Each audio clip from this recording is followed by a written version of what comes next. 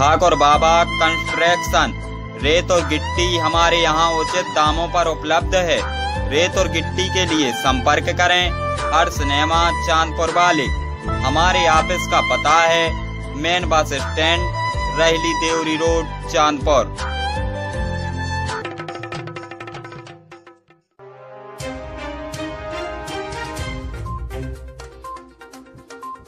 गरीब लोगों से अधिकारी किस प्रकार की रिश्वत मांगते हैं और उन्हें परेशान किया करते हैं, यह बात किसी से छुपी नहीं है।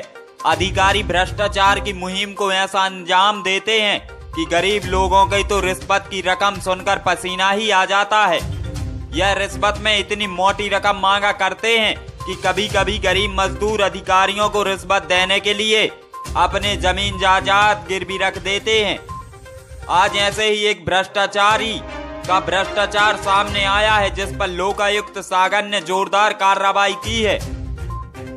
जी हाँ ऐसी ही एक खबर मध्य प्रदेश के सागर ज़िले के केसली से जुड़ी है, जहाँ पर तहसीली में पदस्थ तहसीलदार के रीडर कृष्णकांत मंगलवार की सुबह ढाई हज़ार रूपए की घूस लेते रगे हाथों पकड़े गए हैं। जानकारी के अनुसार यह रिश्वत बेनामा पास कराने के आवाज़ में मांगी गई थी। फरियादी सहजपुर निवासी राजू चौरसिया ने बताया कि वह 2019 से बेनामा पास करवाने तहसील के चक्कर काट रहे थे। तभी तहसीलदार के रीडर कृष्णकांत ने छह हज़ार लेकर बेनामा पास करवाने की बात कही थी। फरियादी राजू चौरसिया विकलांग हैं, जिसके चलते मामला ढाई हज़ार की पहली किस्त में तय हो गया था। मंगलवार की सुबह तय योजना के तहत कृष्णकांत ने तहसीलदार के गेट पर फरियादी से ढाई हज़ार, बतौर रिश्वत के पैसे लिए। मौके पर मौजूद लोकायुक्त सागर के निरीक्षक बी एम द्विवेदी ने उनकी टीम ने कृष्णकांत को रंगे हाथ धर दबोचा अब इन पर कार्रवाई की जा रही है।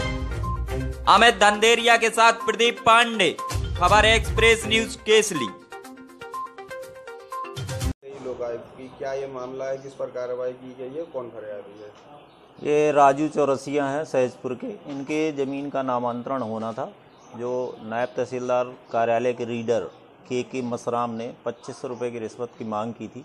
आज वो पच्चीस सौ रुपये लेते हुए रंगे हाथों पकड़े गए हैं। कार्रवाई जारी है। ये उनने रिश्वत किस एवज में मांगी थी? और नामांतरण की कार्रवाई की फ़ाइल पूरी कंप्लीट करने के एवज में रिश्वत की मांग की गई थी। जी सर, आज जो कार्रवाई हुई से किस स्थान पर अंजाम दिया गया? तहसील कार्यालय के गेट पे इनको रिश्वत लेते हुए रंगे हाथों पकड़ा गया है।